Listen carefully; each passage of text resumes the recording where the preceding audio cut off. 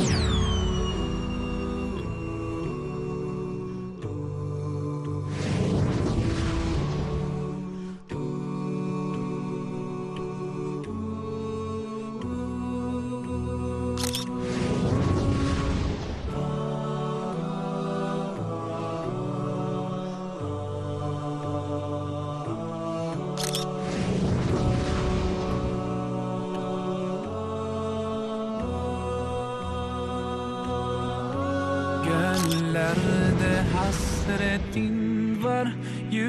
Yürekler aşkınla çarpar Sensiz dünya bizlere dar. Selam sana ey kutlu yar With submission, faith and patience You convey the noble message. Şeytanirracim Bismillahirrahmanirrahim.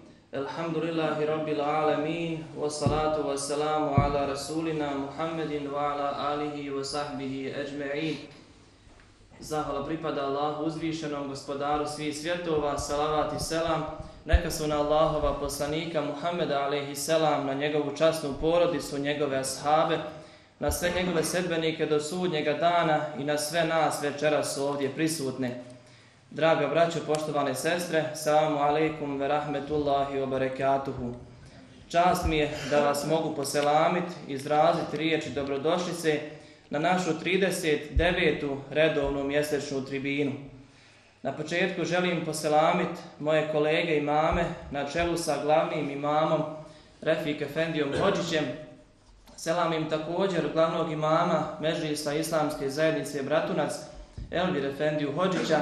Selam im sve naše hađije, hađi Hanume, a posebne selame i riječi dobrodošlice želim uputiti našem večerašnjem gostu, predavaču, mom profesoru iz medrese, a danas podpredsjedniku entiteta Republika Srpska, magistru Ramizu Salkiću. Želim mu se zahvaliti što je pored silnih svojih obaveza našao vremena i počastio nas večeras svojim dolaskom. Našega gosta nije potrebno posebno i puno predstavljati, svi ga vrlo dobro znamo, često ga gledamo i često slušamo, zato ću ga evo odmah pozvat da nam se obrati, a govorit će na temu stanje Bošnjaka u RS-u. Profesore Bulj. Hvala Hafize. Drago mi je da, da, da sam večeras ovdje s vama. Sve vas iskreno selamim. Zadovoljstvo mi je da, da budem ovdje, da sam u prilici da razgovaram s vama. Odmah kad me Hafiz kontaktirao i kad je objasnio, odmah sam znao kome se radi. Ja ga se sjećam kao jednog finog, tihog dječaka u, u medresi, dobrog učenika i evo, hvala Bogu, to, to je tako i u životu. Radujem se da sam u prilici da podijelim neka svoja iskustva. Nisam baš pripremio neko predavanje, nisam razumio, razumio sam da ćemo se družiti, a najviše volim da odgovaram na, na, na postavljena pitanja, nekako mi, je, nekako mi je najlakše jer kad postavite pitanje, tu je obično, ja sjećam kao profesor, obično bilo i pola odgovora, samo kako se ko snađe i kako to upotrebi, blizu da, da tačno i odgovori. Naravno, drago mi je da, da je danas i večeras ovdje sa mnom i glavni imam Međusa islamske zajednice Bratunac, Elvir Efendija Hođić, koji je inače iz Srebrenika, glavni je imam u Bratuncu, a ovdje vidim puno, puno džematlija iz Srebrenice, Bratunca i drugih podrinskih opština, što pokazuje koliko nam je agresija učinila da smo se izmješta, izmiješali i iz, ispremještali. Svi vi pratite, dakle, stanje na prostoru cijele Bosne i Hercegovine, posebno Bošnjake zanima, interesuje i teško im pada kad vide teško stanje Bošnjaka na prostoru entiteta Republika Srpska, gdje god sam u prilici da srećem s ljudima, da razgovaram, oni sa posebnom pažnjom, zebnjom strahom, pitaju kako je bošnjacima, kako bošnjaci provode, kako živi, kako, kako opstaju na tom prostoru. Naša borba je trajna i mi moramo biti svjesni toga. Gdje god da živimo, šta god da radimo na prostoru Bosne i Hercegovine, pa i bošnjaci u cijelom svijetu, gdje god da se nalaze, moraju nastaviti trajnu borbu za državu, za domovinu Bosne i Hercegovine. Te države, te domovine neće biti ukoliko bošnjaka ne bude na Drini, ukoliko bošnjaka ne bude u Hercegovini i ukoliko mi svi zajedno ne budemo bili spremni da podnosimo trud i žrtvu za ovu domovinu, za, za, za naš narod, a prije svega za, za ljude koji su na neki način odlučili da najintenzivnije nastave borbu za našu zemlju, odlučili se da se vrate na svoja ognjišta, da ih obnove i da, da tu živi, da podižu svoje porodice, da svoju djecu šalju u škole u kojima nemaju prava na bosanski jezik, nemaju prava na mnogo toga što imaju djeca, djeca bošnjaka u federaciji. To je, da vam kažem, velika žrtva. I tim ljudima treba na svaki način iskazivati poštovanje i uvažavati ono što oni traže i što oni, što oni žele i što oni očekuju da im se pomogne. S druge strane imamo entitet federaciju koja objektivno jedina trenutno u ovoj zemlji pomaže proces povratka i čini koliko toliko napora da olakša ljudima život na prostoru entiteta. Nije to dovoljno da se razumijemo. I to je tako uvijek u životu. Onaj ko daje, koliko god da daje, njemu je prilično to puno. Onaj ko prima, koliko god toga da dobija, njemu je to uvijek malo i on uvijek računa da treba, treba dobiti više. I u toj, toj dilemi da li se daje dovoljno ili se prima premalo, mi danas imamo stanje u kojem bošnjaci na prostoru identiteta Republika Srpska objektivno u okolnostima u kojim se nalaze žive koliko toliko normalan, normalan život. Imamo problem u obrazovanju koji je evidentan, koji je prisutan, kojeg ne mogu bošnjaci sami riješiti na prostoru, ja bih rekao, ni cijele države Bosne i Hercegovine. Imamo situaciju da međunarodna zajednica nije spremna još uvijek ili nije snažna da pomogne da riješimo problem obrazovanja. Imamo diskriminaciju u pogledu zapošljavanja, dakle, javna preduzeća, domovi zdravlja, sve opštinske službe, sve entitetske službe na prostoru entiteta gotovo da su jedno nacionalne. Ministarstvo unutrašnjih poslova, nekoliko procenata samo ima bošnjaka u tim institucijama. Ali to je jedna strana medalje. Druga strana medalje je da ne postoji ni jedno bošnjačko mjesto na prostoru entiteta Republike Srpska gdje se bošnjaci nisu vratili i gdje nema bošnjaka da žive u jednom određenom broju. Ja volim kazati da smo ratovali još sto godina pitanje da, da li bismo došli u sva ta mjesta i da li bismo u svim tim mjestima mogli započeti, započeti novi život. Dakle, bošnjaci tu, oni žive, privređuju, rade, potrebna, potrebna im je još veća, još veća podrška kako bi, kako bi uspjeli. Ono što je najvažnije u budućnosti to je da se proba učiniti maksimum da se obezbedi koliko toliko radnih mjesta za ljude koji žive na tom području. Evo, vi ste svjedoci da u cijeloj državi Bosni i Hercegovini, pa i cijelom regionu i Hrvatska koja je dio Evropske unije, i Srbija, i Makedonija, i Crna Gora, ljudi su opredjeljeni vrlo često da napuštaju te svoje domove, napuštaju domovinu i odlaze. Da li u Njemačku, da li u Francusku, zemlje koje su objektivno razvijenije. Ja sam evo prije desetak dana bio u Njemačkoj i družeći se s našim ljudima i u Minhenu, i u Berlinu, i u drugim mjestima, oni kažu pa ovdje dolaze masovno Španci, Portugalci i članovi drugi, onaj građani drugih zemalja Europske unije zato što, što, zato što je ovdje ovdje onaj standard takav kakav jest. Ljudi žive u Francuskoj, ali dolaze u Njemačku da rade, zato što, zato što je Njemačka, Njemačka privlačna.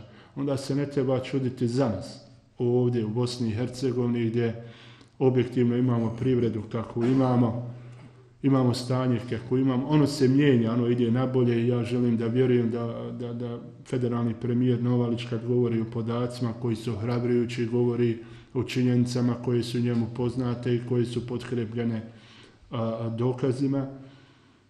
Neke, neke firme napreduju, neke nove se gradi, ali nije to, nije to dovoljno, znate, i logično je da ljudi, da, da ljudi stremi i prema Njemačkoj i prema drugim mjestima, ali s druge strane nama treba jaka domovina, bez obzira gdje ljudi da, da odlaze, da rade, morate imati neki dom gdje ćete se vratiti. Ne možete zamijeniti svoj dom za, za, za, za nečiji drugi.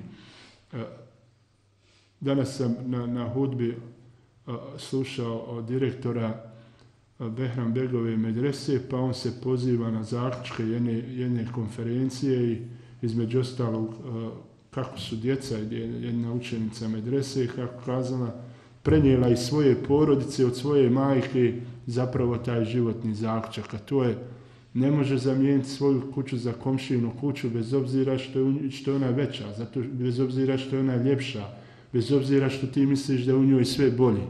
To je tvoj dom, to je tvoja kuća, moraš je voljeti, moraš, jer zapravo ti nisi u koži onoga tamo domaćina, komšije, ne znaš s kojim se on brigama, mukama onaj susreće, da li njega neke more brige, a sigurno ga more, možda su one teže nego, nego, nego, nego tvoje.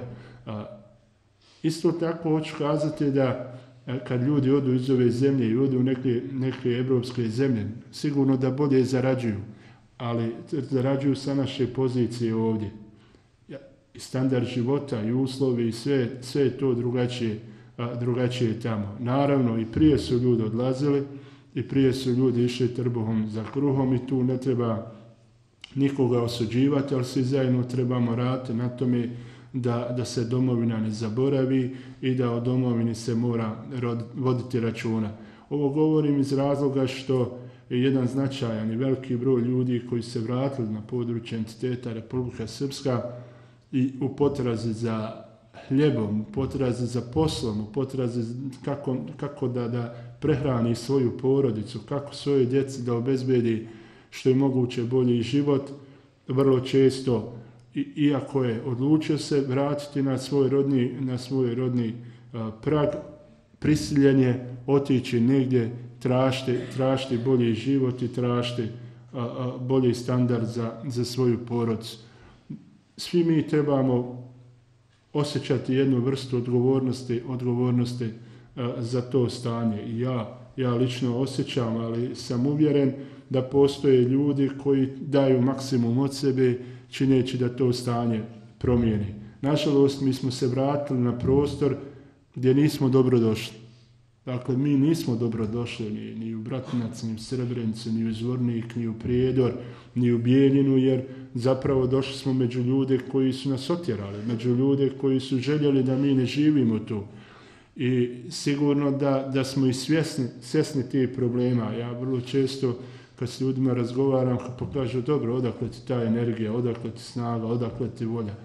Ja, ja to crpim iz iskustva koje sam, koje sam proživio od te 92. godine e, do, do 95. godine. Puno ljudi koje sam ja znao, s kojim sam živio, s kojim, s kojim sam se družio, zapravo je ubijeno, nisu preživili i onda postavljam sad sve pitanje zar sam ja preživio da bi samo tek tako preživljavao. Ako mi je već Bog dao neku na faku i dao priliku da se borim, ja imam, imam obavezu, obavezu da se borim i da se nastavim boriti, jer e, nisam ja ništa bolji od onih moji a, komšija koji su u logoru u Bratuncu ubijeni ili u logoru na Palama. Dakle, ništa nisam. Ili od onih ljudi koji su u mom mjestu i mnogim drugim mjestima tog maja i aprila 92. godine ubijeni. Šta sam zapravo bolji od onih vojnika, gdje smo, gdje smo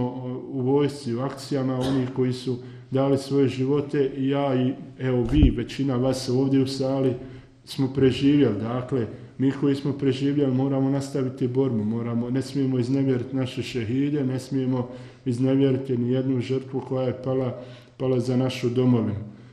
borba, ova borba će trajati još dugo. Svako ko misli da je borba završena, ona, ona nije. Ona je sada ekonomska, politička, psihološka. Ovo je borba, što bih rekao, na pojene. Ko će više izdržati, ko će ko će, ko će bolje, bolje i više, više raditi, ko, ko je više predan ovoj, ovoj zemlji. Mi ovu zemlju, bar ja tako doživljavam, vjerujem i većina vas doživljavamo kao domovinu svi oni koji žele ovdje da žive, kao domovinu i Srba, i Hrvata, i Bošnjaka, i svih drugih građana. Ali ona je domovina najviše onih koji je najviše vole. Evidentno je da mi Bosnu i Hercegovinu najviše volimo i zbog toga nekako osjećamo da je najviše trebamo, trebamo i svojatati. Ali svi se mi radujemo kad, kad neki zaigra futbaler, bez obzira bio Srbin ili Hrvat ili neko drugi za reprezentaciju Bosne i Hercegovine. Sretni smo još kad daje golovi, još smo, još smo sretni. Dakle, mi ne želimo ovu zemlju samo za sebe, mi je želimo za sve, ali nećemo nikom dozvoliti da se ova zemlja podijeli i spremni smo ponovo na isti način kao i 92. da je branimo. Znači sve jedan a, građanin ove zemlje, patriota, spreman je, spreman, spreman je uvjeren, ja prvi, ja vjerujem svi ostali da branimo, branimo ovu zemlju, jer zapravo domovna je kao majka, znate. Kad imate majku, niste siroće. Kad ostanete bez majke, nema veze što imate 60 godina, vi ste siroće nemate kome otići, nemate na Bajram, nemate s kim našalt, nemate, nemate koga zagrliti i tako dalje. Sve to u redu, imaju djeca, ima, ima supruga, ima brat, ima sestra, ali nema, nema majke. Dakle, ako kad ostanete bez majke, ostanete bez domovine, znači vi ste trajno, trajno siroće. E, I zato mi imamo obavezu da, da, da onaj, čuvamo domovinu. Znate, mi smo svi bili kao djeca i sad vidim ovdje ove djece, vrlo često su nezadovoljni time što otac imate ne ispune neko obećanje. Ali djeca su mala, mi smo bili mali, mi nismo svjesni da li je mati imala novca, da li je mogla, da li je ovo, da li... Hiljadu jedan razlog je bio zašto to ona možda nama nije ispunila, a sigurno da je željela da, željela to da ispuni. Tako da i mi kao građani ove zemlje ne znamo i ne možemo dopreti do, do svake situacije i stanja kroz, kroz šta prolazi domovina. I zato moramo, moramo pokazivati, pokazivati razumijevanja, moramo pokazivati strpljenja, ali isto tako imamo obavezu insistirati da oni koji vode zemlju budu moralni, čestiti, pošteni ljudi, da takve biramo i da se borimo za takve da, da, da upravljaju, upravljaju zemljom. Bosna i Hercegovina se ukupno dakle prolazi evo zadnjih ja bih rekao možda evo i gotovo desetak mjeseci kroz jedno vrlo, vrlo nezgodno stanje. Ja bih rekao vrlo teško stanje od jula mjeseca prošle godine kada je Narodna skupština izglasala zakon o održavanju referenduma o danu entiteta Republika Srpska, pa do činjenice da je održan taj referendum uprkos zabrani Ustavnog suda, uprkos mišljenju međunarodnih, važnih međunarodnih organizacija, važnih ambasada u Bosni i Hercegovini održan. Nakon toga, to je jedna kriza koja još uvijek traje. Nakon toga mi bošnjaci smo doživjeli jedno duboko razočarenje, ja bih rekao i duboki poraz, a to je gubitak Srebrenice. To nam je došlo kao, kao ono so na ranu, na sav onaj referendum i na sve, one, na sve one probleme. Nakon toga je došlo obilježavanje 9. januara i ja bih rekao zloupotreba oružanih snaga Bosne i Hercegovine od strane člana predsjedništva i nje postrojavanje oružanih snaga u povodu 9. januara, a zapravo to se podvodilo pod jedno drugo pravilo da, da član, da predsjedavajući predsjedništva gdje god da dođe ima pravo da traži da se postroji vojna jedinica počasna u čast njegovog dolaska. On je to iskoristio i to u javnosti predstavio da je to postrojavanje u znak 9. januara, a zapravo ono je bilo u znak njegovog dolaska, dolaska na to mjesto što on objektivno ima sad da dolazi u Srebrenik, ima pravo da traži da počasna jedinica oružanih snaga dođe i da se postroji. Jer tako je svugdje, svugdje u svijetu, pa tako je, tako je kod nas. To je zloupotrebljeno i pokušaj, pokušaj je bio da, da se podijeli oružane snage, da, da, da dođe do destrukcije u tako jednoj važnoj, važnoj instituciji za državu Bosne i Hercegovine. Nakon toga smo imali pokretanje revizije po presudi Međunarodnog suda pravde po tužbi Bosne i Hercegovine protiv Srbije i Crne Gore za agresiju i genocid. destruktivne snage su pokušale nama da nemetnu da mi moramo njih pitati da li ćemo nekoga tušti zato što je nas pobio, a oni su bili na strani onih koji su nas ubijali. Dakle, to je, to je bio neprihvatljiv, neprihvatljiv zahtjev i zbog toga smo mi, odnosno predsjednik Izetbegović, zajedno sa pravnim timom učinili smo sve što smo mogli da pokrenemo, pokrenemo tu reviziju. Naravno da smo mi bili svjesni problema koji će, koji će nastati, problema koji će proizaći iz toga da kolektivni šef države koji je zadužen za međunarodnu politiku i predstavljanje države nije zainteresiran i nije spreman da podrži, podrži naš zahtjev za reviziju ali mi nismo mogli spram naših žrtava, spram onoga što je istina, izaći u javnosti i narodu kazati mi se ne možemo dogovoriti pa mi to nećemo uraditi. Mi smo to morali uraditi, mi smo, mi smo to uradili svjesni mogućih posljedica, ali isto tako svjesni obaveze da naš narod bude svjestan da postoje hrabri, odgovorni, čestiti, pošteni ljudi koji su spremni da se bore. Svi su podržavali taj put. Svi su podržavali način pripreme i podnošenje apelacije i sve. Ali su i mnogi se nadali da će to propasti kako bi mogli na tome da grade neku političku priču i da, da pokušaju ubrati određene političke pojene na tome i vidjeli ste samo što se pojavila informacija da da to ne može ići na takav način. Oni su se već pojavili u javnosti sa već pripremljenim saopštenjima kako je kriv ovaj, kriv ovaj. Znali smo mi da, da, da je to tako kako jeste, ali šta smo, jesmo mogli, jesmo trebali da mi nećemo, nemamo saglasnost, mi to nećemo raditi. Pa je bila saglasnost da se branimo 92. Pa nije, pa smo se branili, pa smo se odbranili. Dakle, ne možemo uvijek činiti ono samo što, što postoji opšta saglasnost, ponekad u životu morate da uradite ono što ste ubijeđeni da je ispravno i pravedno, a da neki drugi se posle vama pridruže zato što ste, zato što ste bili u pravu. Ono što je važno iz te revizije za nas koji dolazimo i koji smo na prostoru entiteta Republika Srpska, to je da su upravo srpski predstavnici snažno branili presudu koju ne priznaju i koju ne provode.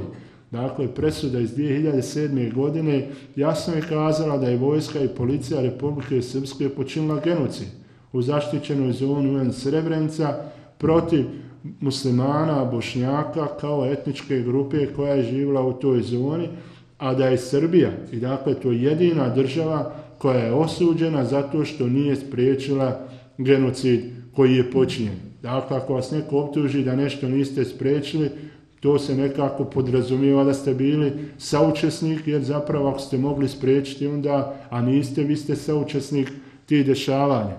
Mi iz ovoga trebamo da, da izvučemo pouku, iz ovoga trebaju da naše institucije, naši intelektualci, ljudi od pera trebaju da, da izvuku pouku i da mi insistiramo i tražimo da se presuda iz 2007. godine u potpunosti provodi da ona kao sada potpuno valina jer na nju više nema pravo niko prigovora, bude dio historije, da bude dio udžbenika i da bude dio nastavnih planova i programa. Ako to ne možemo završiti, da bude u entitetu Republika Srpska, dakle to trebamo uraditi na prostoru federacije. Trebaju to uraditi kantoni koji su pod da kažem, evo, potpunom bošnjačkom kontrolom, evo, to je neki najmanje sedam kantona u ovom trenutku, treba da, da uvede u nastavne planove i programe izučavanje genocida, posljedica genocida, izučavanje te presude, elemenata presude, da djeca znaju šta se zapravo dešavalo. Nažalost i mi vrlo čestimo, često bježimo od istine, olakšavajući sami sebi kazivanje, pa dobro, ne možemo mi sad ići da se svađamo, nisu ovi za ovo, hajde ne moramo ni mi tako. Mi moramo da gajimo svoju istinu, mi moramo da čuvamo svoju istinu. Vi vidite šta rade predstavnice srpskog naroda, dakle oni žive na svome mitu koji se provlači kroz istoriju, a to je da je samo istina ono što oni kažu i što oni priznaju da je istina. Ništa drugo. Kogod govorio da je i koliko god da bilo istina i šta god mislio čitav svijet, to nije istina sve dok oni ne kažu da je istina. Dakle, čitav svijet je gledao i uvjeren je i presude postoje da je u Srebrenici počinjen genocid, ali oni i dalje govore da u Srebrenici nije počinjen genocid. Postoje na hiljade dokaza i elemenata da je na Bosnu i Hercegovinu učinjena agresija, oni govore da to nije. 51% građana ove zemlje izjasni se da govori bosanskim jezikom, oni govore ne postoji bosanski jezik. Dakle, to su, to su njihovi stavovi i oni e, razumiju na, samo, samo to na način da e, tri puta ponovljena laž postaje istina i oni na takav način ponavljajući te laži žele sve nas da ubijede da je to istina. Ja se sjećam 1992. godine i jednog dnevnika u maju mjesecu kod još uvijek smo imali malo struju i u Hranči mi gledamo dnevnik kako Novosadska televizija govori kako su zelene beretke, fundamentalisti u Bratuncu zapali srpsko selo Glogovu. I oni to pričaju kao da je to sve to tako, ali evo ovdje ljudi ima, oni znaju tu. Onaj, šta, pa tu nije Srba bilo, malte ne nikako. Ali oni su pričali svom narodu, oni su ubijedili svoj narod, svoj narod onaj, u, u, u tu laž i njihov je narod povjerovao u njihovoj laži. Mi trebamo sami sebe da ubjeđujemo u neku istinu, a oni ubjeđuju svoje u laž. Nemojte da se ubjeđujemo oko istine. Mi moramo da prenosimo našu istinu sa koljena na koljeno. Niko ne želi da živi u prošlost. Niko od nas ne želi da se prošlost ponovi bilo kome. Upravo da se ona ne bi ponovila, mi nju moramo prenositi s koljena na koljeno, mi o njoj moramo govoriti, mi nju moramo širiti i moramo našoj djeci prenositi. Dakle, sve jedno dijete treba da zna ko je ubio nečiju džedu, ko je ubio oca, ko je ubio Amidžu, ko je ubio brata. Dakle, treba da znaju da su to uradili Srbi, da su to uradili Četnici i tu nema nikakve dileme. Samo na takav način možemo obezbijeti da ponovo ti četnici nekolju neku našu djecu, neke naše starce, da ne prave logore i tako dalje i tako dalje. Dakle, ja ovo kad govorim, ja uopšte ne pozivam da mi živimo u prošlosti. Ja uopšte ne pozivam na neku osvetu. Ja ne pozivam na mržnju. Ja samo pozivam moju, vašu djecu i vas da ponovo neko ne bi bio, ne bi bio predmet onaj ubistava i svega onoga što je bilo 92. godine. Mi trebamo da baštinimo samo istinu. Nama ne treba nikakvo uveličavanje zločina, nama ne treba nikakva laž. Istina je na našoj strani, nju treba širiti. Naravno da a, puno bolje prolazi laž, puno lakše prolazi laž. Znate, kad hoćete nešto da postignete, vi dođete, ispričate lijepu priču, ljudi vam povjeruju, kad dođe onaj ko govori istinu, on kaže to može, to ne može, daj, pusti ovoga, kod njeg ništa ne može, kod onoga sve može.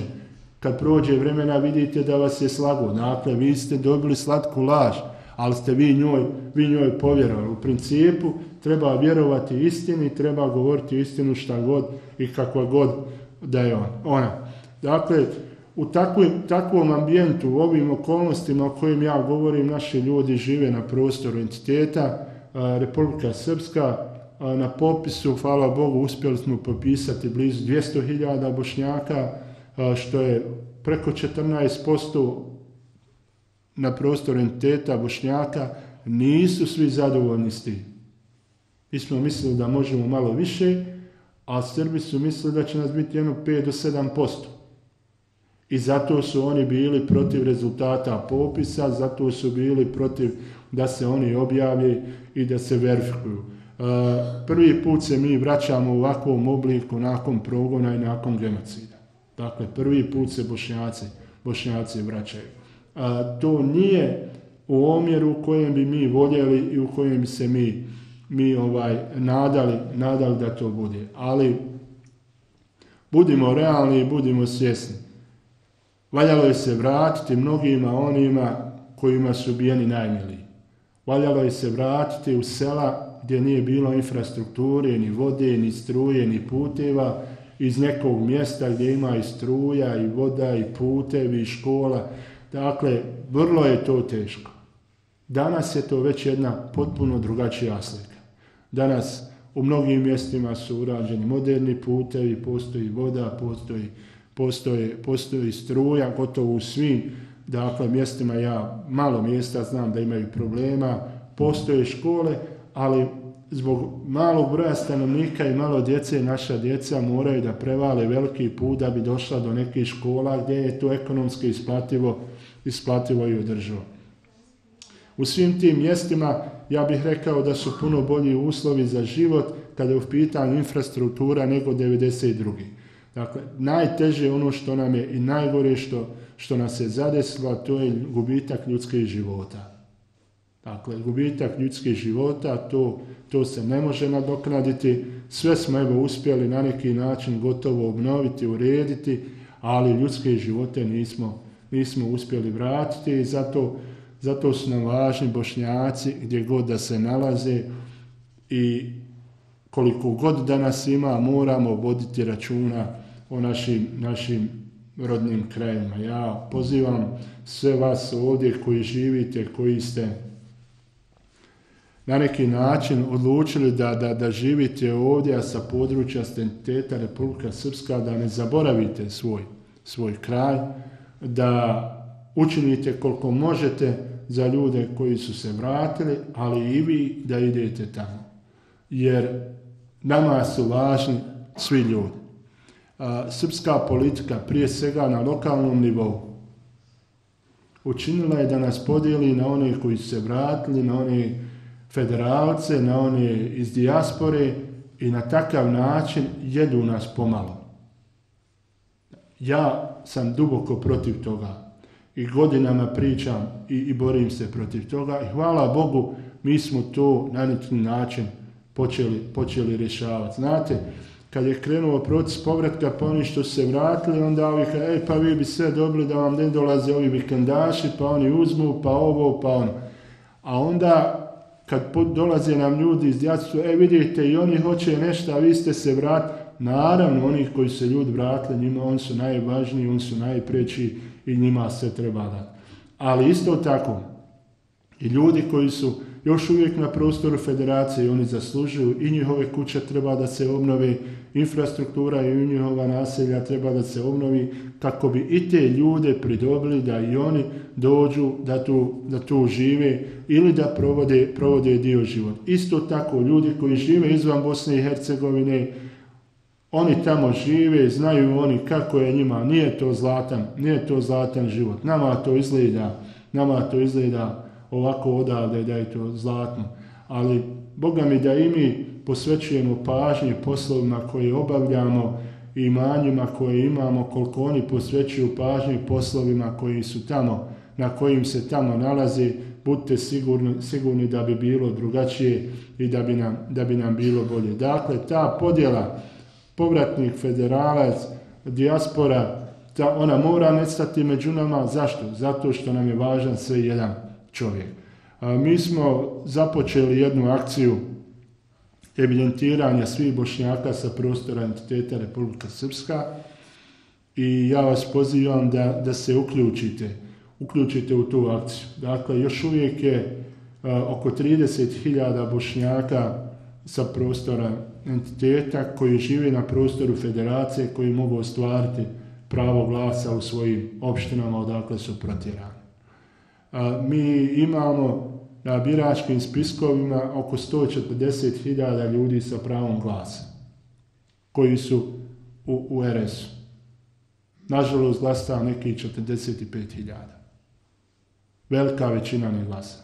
Da biste bilo šta riješili, morate izabrati sebi predstavnike. Da bi se čuo vaš glas, morate izabrati sebi predstavnike. Evo ovdje, vi živite u Srebreniku u ovom, u ovom mjestu i kad su lokalni izbori i onda borite se da neko prođe iz vaše mjesne zajednice. Što? Pa da ide, da govori o vašim problemima, da lobira za vaš put, za vaš kanalizat. E isto je to tako i tamo. Samo što je to puno važnije. Tamo, se, tamo lobira za prava bošnjaka, za ovo, između ostalog, ostalog lobira i za poziciju i položaj mjesta iz, koje, iz kojeg se dolazi. Zato je vrlo važno da, da se uključite i kad do vas dođu te informacije ovdje s nama mm, Fahrudin Hasanović, on je iz Bratunca naš veliki borac i patriota i, i borac i sad i za podrinje. Ovdje vodi ratne vojne invalide u Tuzlanskom kantonu, on nam puno oko toga pomaže, možete tu dobiti informacije. Važno, ne, važno nam je da mi imamo informacije o vama, da možemo stupiti s vama u kontakt, vaš broj telefona, vašu adresu, da dalje možemo da dalje može, možemo da se dogovaramo. Znate, ja sam iz Bratunca i mi smo u Bratuncu uspjeli popisati na proteklom popisu oko 40% da su bošnjaci. Dakle, bilo nas je prije agresije 64%, ubijeno je 18% bošnjačke populacije u Bratuncu. Znači, od 92. do 95. 18% bošnjačke populacije ubijeno. A sad nas ima 40%. Na bazi toga mi možemo kazati da je to više nego dobar povratak. Odličan. Naravno, na tom procesu je puno radio Elvir Efendija, onaj, kao, kao predstavnik te komisije za, za, za popis u Bratuncu i uradili smo, uradili smo dobar posao. Ali tek ćemo uspjeti kad nas bude 40% u skupštini. Tek je tad uspjeh. Onda ste vi snaga, onda ste vi neka vrsta, neka vrsta moći, onda ste vi neko ko se pita. Dotad ništa mi nećemo postići. Dakle, formalno nas ima 40% na popisu, blizu 7000 bošnjaka živi u Bratuncu, ali je 20% u. Znači, još 20% treba da nas bude. Nas više, a njih manje. E onda će tu biti na, ne nas više da mi nešto njih pobjedili, a da njih bude manje kako bi on bili slabiji. Mi samo želimo da nas bude više kako bi mi zaštitili sebe i došli do prava koja, smo, koja zaslužujemo i koja nam pripada. Tako isto u Srebrenici.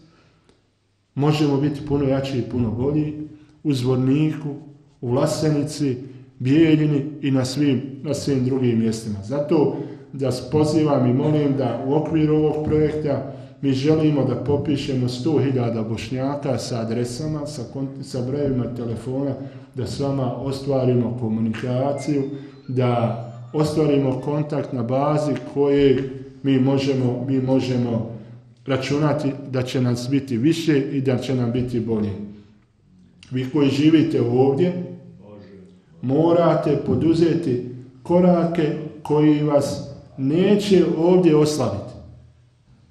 Ali bez velike štete ćete pomoći ljude koji su, koji, koji su tamo. Bez velike štete po vas. I vi to trebate, trebate uraditi. Nije problem. Živi u Sarajevu, tu Srebreniku, Berlinu, a u Beću, bilo gdje.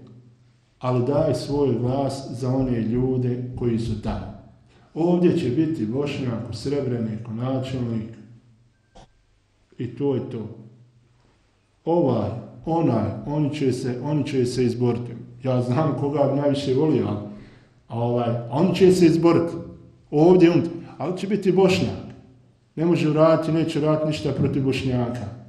Ali je važno da, da, da u zvorniku bude 7-8 Bošnjaka u skupštini, a ne 3 ili 4.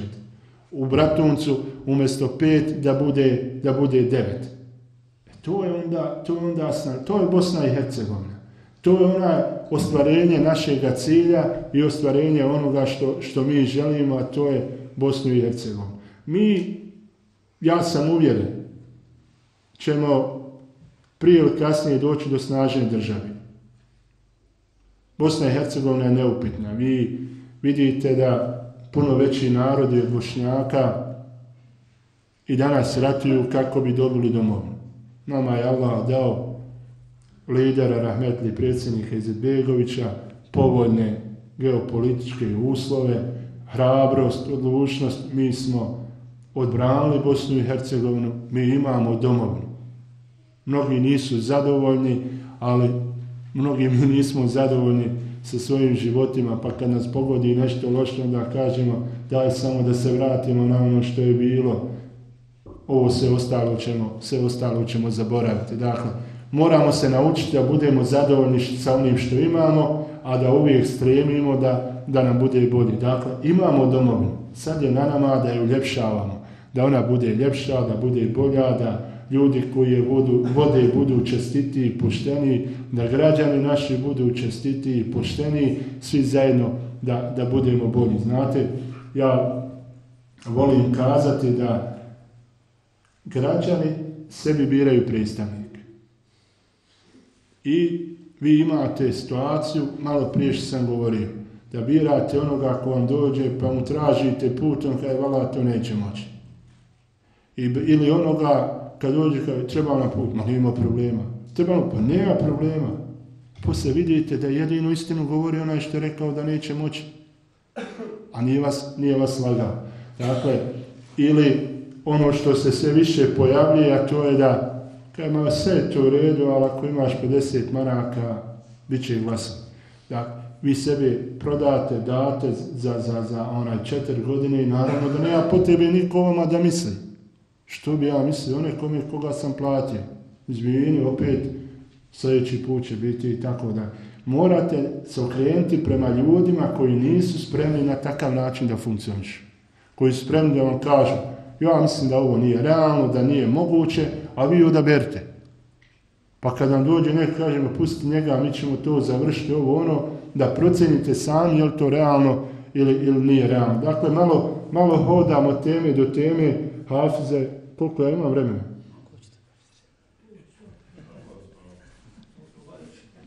A ja mogu, ja mogu podugo, ali onaj, volio bi da i vi, da, da, da i vi pitate. Dakle, mi moramo iz naroda izvesti ono što je najbolje. Zaista, vjerujte, iz naroda mora izaći ono što je najbolje. Koliko god kad govorim o, ovom izbornom procesu, koliko god vi mislili da niste važni, vjerujte ljudi, taj dan ste važniji nego ikad u te četiri godine. Vi onda odlučite na sebi da kažete hoću da budem dostojanstven, hoću da glasam za onoga za koga mislim da je ispravan, pravedan, neću da se, neću da se onaj, niti prodam, niti, niti onaj, prodam ono što, što su moja unutrašnja osjećanja. E onda ćete dobiti ljude koji vas predstavljaju istinski, koji su koliko toliko pravedni, ako možete biti pravedni kad donosite neku odluku. Dakle, svi smo mi u situaciji od porodice, od, od djece, od onaj, komšiluka, rodbine, da donosimo neke odluke i ponekad, ponekad nismo u situaciji da one budu najpravednije iz ovih ili, ili onih razloga. Na nama je da promijenimo naše stanje, da se mi promijenimo, onda će nam i Bog pomoći da, da, da nam se stanje promijeni, da nam se unaprijedi, da budemo, da budemo svi zajedno bolji i da živimo svi zajedno bolje. Sve ovo što sam rekao, u nama ne treba da ubije nadu. I ne treba da ubije želju da nastavimo da se borimo. Ja sam uvjeren, ovo što radim ne bih radio da nisam uvjeren da će Bosna i Hercegovina opstati, da će Bošnjaci na prostoru entiteta Republika Srpska ostati, opstati, preživjeti, da će naživjeti zločince, da će istina pobjediti. Ono što je vrlo važno, naša djeca i kad studiraju u Tuzli, Sarajevu, opet su opredjeljeni vrlo često da se vrate i da žive na prostor, evo govorim sad konkretno o Podrinja. A, djeca srpske nacionalnosti studiraju u Beogradu, u Novom Sadu, tamo se žene udaju, tamo ostaju, to je nekakva prirodna, prirodna selekcija, prirodno kretanje. S druge strane, mediji, obrazovni proces, politika unutar srpskog naroda, ja mislim da je pogrešna, da je nakaradna. Oni kod svoje omladine razvijaju ljubav prema Srbiji, da im je to matica, da im je to domovina i sasvim je logično ta djeca kad odrastu da idu tamo gdje se razvila ljubav. Ne ostaju ondje gdje misle da ne pripadaju. Naravno da je to pogubno za srpski narod, to je pogubno za, za Bosnu i Hercegovinu uopšte, jer zapravo ona treba da bude i da ostane ono što jeste, onaj šareni naš bosanski čilim sa svim bojama, sa različitim bojama, taj naš bosanski čilim gdje imaju i Srbi, Hrvati, i Bošnjaci i svi drugi, svi drugi građani, nama niko ne smeta, mi volimo, mi volimo i nama su drage naše komšije, ali u budućnosti ćemo voditi računa, voditi računa o, o tome šta i na koji način a, razmišljaju naše komšije, šta oni zapravo misle, misle o nama, ne zato da bismo mi nešto njima učinili, već samo da bismo, da bismo sebe na neki način zaštitili.